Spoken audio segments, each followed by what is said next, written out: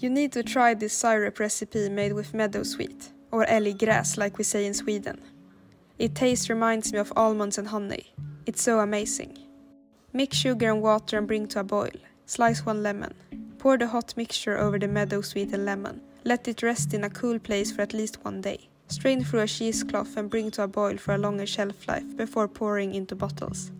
The full recipe is down in the description.